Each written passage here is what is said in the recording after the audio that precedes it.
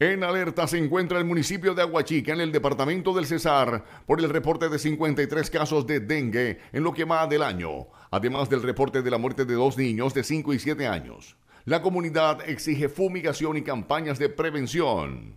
El primer deceso fue un niño de 7 años y dos semanas después, el pasado primero de marzo, falleció una menor de 5 años residente en el barrio Villamare luego de estar hospitalizada en la unidad de cuidados intensivos de la Clínica San Luis de Bucaramanga, a donde fue remitida el 27 de febrero desde el Hospital Regional de Aguachica. Sin embargo, hasta la fecha las autoridades de salud no se han pronunciado al respecto.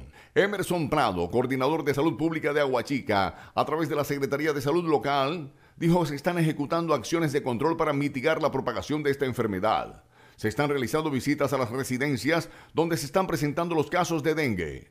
También se promueven charlas de prevención y promoción sobre las medidas para prevenir el dengue. Según el boletín del Instituto Nacional de Salud, Semanas Epidemiológicas 01 a 07 de 2021, en el departamento del Cesar se reportan 142 casos de dengue.